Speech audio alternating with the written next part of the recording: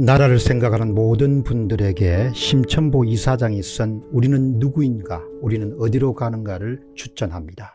안녕하십니까 공병호 TV의 공병호입니다. 김명수 대법원장에 취임한 이후에 대한민국의 사법부에 대한 신뢰는 사실 바닥으로 추락했습니다. 4.15 총선 이후에 선거 무효소송에서 벌어지고 있는 일련의 사태를 보면 4월 15일 총선 이후에 전국 법원이 마치 입을 맞추듯이 아니면 대법원 수뇌부의 명령을 따르는 것처럼 전산장비 일체에 대한 증거 보존을 전국 지방법원의 판사들이 일제히 기각하는 것을 우리는 목격한 바가 있습니다. 양식 있는 국민들은 법관들의 의도와 관계없이 대한민국의 법원이 선관위의 불법에 적극적으로 눈을 감고 있다. 그리고 한 걸음 더 나아가서 공모관계에 있지 않는가라는 그런 의심을 하기 시작했습니다. 뿐만 아니라 선거관리위원회의 전거인멸에 법원이 적극적으로 협조하고 있다는 그런 생각을 가지신 시민들이 꽤 많습니다. 심지어는 지난 6월 28일 날 인천 연수구월 재검표 현장에서 이미 확보된 증거물들이나 인천지방법원에 보관 중인 투표함 속에 위조된 투표지를 조차 온전하게 과연 보존될 수 있을까라는 그런 강한 의문을 갖고 있는 시민들이 부쩍 늘어났습니다. 그만큼 대한민국의 법원과 법관들을 신뢰하지 않는다는 이야기입니다. 사법부의 이해할 수 없는 행동이 크게 주목받은 것은 지난 6월 28일 날 인천 연수구월의 재검표 현장에서도 확인된 바가 있습니다. 재검표에서 가장 필수적인 법원 재검표용으로 제출된 투표함 속에 그 실물 투표지가 진짜인지 가짜인지조차도 판별하지 않고 가리지 않고 가짜 투표지를 개수하는 새는 어처구니 없는 일이 일어나고 말았습니다. 주시민 천대엽 대법관이 과연 공정하고 객관적이고 중립적인 선거소송을 진행할 의도를 갖고 있는지를 강하게 의심하지 않을 수 없는 일이었습니다. 그럼에도 불구하고 전혀 의도치 않은 발견이 있었는데 이처럼 불완전한 재검표에도 불구하고 사이로 총선의 기획설과 조작설이 입증되는 엄청난 증거물들이 지난 인천 연수 9월 재검표 현장에서 발견됐습니다. 그렇다면 만약에 당시에 정상적인 재검표가 이루어졌다면 합법적인 재검표가 이루어졌다면 나라가 그야말로 뒤집어지고도 남음이 있을 정도의 일이 일어났을 것입니다. 왜 대법관들은 선거관리위원회의 부정선거에 공모하고 있다는 비난을 받으면서까지 선거관리위원회에 일방적으로 유리한 선거소송과 재검표를 진행하고 있는가 이런 부분이 많은 국민들로 하여금 의구심을 갖도록 만드는 일입니다. 이미 엄청난 범죄를 저지른 선거관리위원회 관계자들과 대법관들이 같은 배를 타야 할 이유는 전혀 없지 않는가 그렇게 의문문을 강하게 제기하는 사람들이 있습니다. 이런 점에서 앞으로 8월 10일 날 오전 10시부터 시작되는 두 번째 재검표가 추미애 관심을 끌고 있겠습니다. 이번 대상자는 원고는 미래통합당의 윤갑근 후보입니다. 청주시 상당구 선거관리위원회의 위원장을 대상으로 제기한 선거 무효 소송입니다. 사건 번호는 2020수 6236입니다. 국회의원 선거 무효 소송입니다. 이 재검표가 8월 10일 날 오전 10시부터 대법원의 401호실에서 개최됩니다.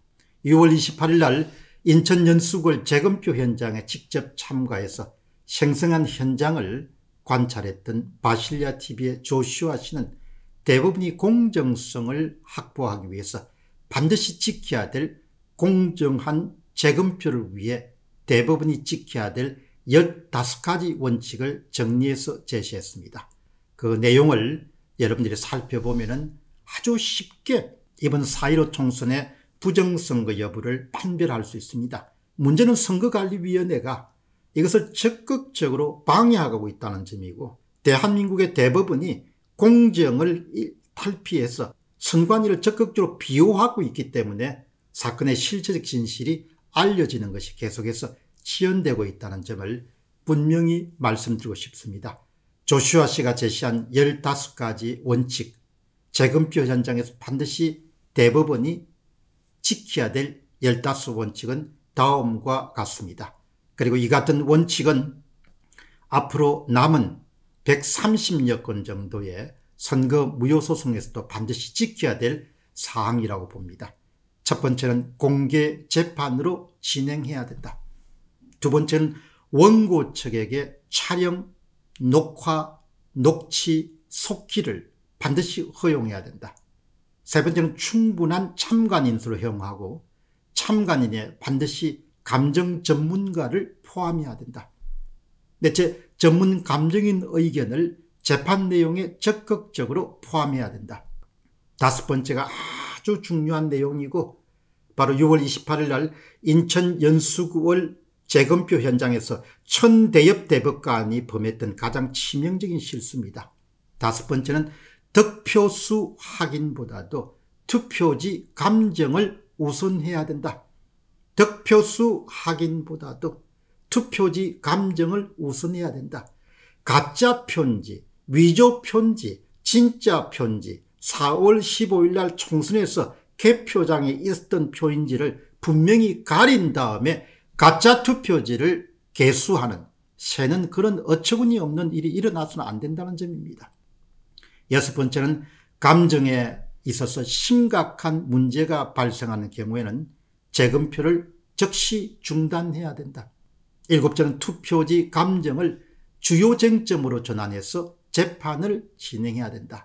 여러분 6월 28일 날 인천 연수구을 재검표 현장에서 발견된 가장 획기적인 그런 점검물은 바로 마땅히 프린트로 출력되어서 사전투표 현장에서 투표자가 기표 도장을 찍은 다음에 투표함에 넣었던 기표된 프린터 출력된 사전 투표지가 재검표 현장에 등장한 투표함에 들어 있는 것이 아니고 그것은 모두 다 제거되고 인쇄된 빳빳한 신끈 같은 그런 다량의 인쇄된 사전투표지가 투입되었기 때문에 지금 대법관들이 초점을 맞춰야 될 것은 투표지가 진짜인지 가짜인지가 가장 중요한 겁니다. 이 점에 초점을 맞춰서 재검표를 진행해야 된다는 것이죠. 여덟 번째는 부정선거를 뒷받침하는 많은 증거가 나왔기 때문에 재판에 필요한 모든 비용은 선관위 측인 원인을 제공한 측인 바로 피고 측이 부담해야 된다. 그리고 아홉 번째도 대단히 중요합니다. 선관위 측이 계속해서 거부하는 통합 선거인 명부를 제출해야 된다. 그것은 서버 자료로. 결사적으로 선관위가 반대하는 것이죠. 왜 반대하겠습니까? 사건이 드러나면 다들 죽으니까. 열 번째입니다. 4월 15일에 생성된 투표지 이미지 원본을 반드시 제출해야 된다. 삭제한 경우라면 삭제 경위, 일시, 방법 이런 것을 상세히 소명해야 될 것이다. 11번째는 4월 15일에 생성된 투표지 이미지 파일의 원본을 삭제했을 경우에는 포렌식 작업으로 복구 및 제출해야 된다. 12번째는 사본 제출이 원본과 다름이 없음을 피고 측이 증명해야 된다. 이것은 해시값 비교 등으로 가능합니다. 현재 상황은 선관위 측은 투표함을 완전히 갈아서 인쇄된 위조된 사전투표를 투입한 다음에 그것을 가지고 스캔을 통과시킨 다음에 투표지 이미지 위변조본을 만든 다음에 그것을 대법관에게 제출한 겁니다. 있을 수 없는 일이죠. 따라서 13번째는 통합선거인 명부 4월 15일에 생성된 투표지 이미지 원본 파일 그리고 당일날 스캔된 8월 10일날 스캔된 이미지 3개를 동시에 상호 대조해서 진짜 투표지인지 가짜 투표지인지를 판별해야 된다는 것이죠. 14번째는 문제 투표지에 대한 발급 시간 판독을 통해서 투표자의 투표 여부를 확인해야 되고 15번째는 선거인 명부에서 임의의 투표자를 선별해서 본인 투표 여부를 확인해야 된다. 현재 기준으로 보면은 8월 10일 날 윤곽금 후보의 그 투표함에 들어있는 것은 아마도 인쇄된 투표지일 가능성이 높습니다. 그러니까 선관위가 재건표용으로 특별히 준비한 마련한 인쇄된 투표지인 가능성이 높습니다. 그러나 또 다른 가능성도 있습니다. 6월 28일 날 바로 선관위가 기표된 진짜 투표지를 다 소각하거나 파쇄하고 인쇄된 사전투표지를 다 채워 넣었기 때문에 그런 사실이 세상에 널리 알려졌습니다. 그렇기 때문에 어쩌면 선관위 측이 또 한 번 장난을 벌릴 가능성도 있을 겁니다. 법원에 있는 재검표용 인쇄된 사전투표지를 또 통과를 해가지고 이번에는 프린터 출력물로 된 투표지로 다시 갈았을 가능성도 배제할 수 없습니다. 왜 그런가? 믿을 사람이 아무데도 없고 믿을 공적 기관이 없기 때문입니다. 부정선거를 할 수 있는 사람 같으면 법원에 증거용으로 보존되어 있는 투표함 정도를 다시 갈아치우는 것은 어렵지 않다고 봅니다. 상식적으로 불가능하지만 상식을 초월한 사람들이 바로 그 사람들이기 때문입니다. 제가 늘 강조하지만 선거를 부정선거로 해서 권력을 훔칠 수 있는 자들은 세상에 할 수 없는 게 아무것도 없다는 것이다. 모든 일을 다 할 수 있다는 겁니다. 더 이상 대법관들이 세상 사람들로부터 부정선거 공모자란 그런 의혹이나 의심이나 오해를 피하기 위해서라도 8월 10일 날 윤곽금 후보의 재검표에서는 단순 개수가 아니라 위조 투표지 진위에 초점을 맞춰야 될 것입니다. 다시 한번 정리하겠습니다. 재검표의 대원칙은 뭔가? 진짜 투표지를 세라는 겁니다. 진짜 투표지를 counting하라는 겁니다. 진짜 투표지를 개수하라는 겁니다.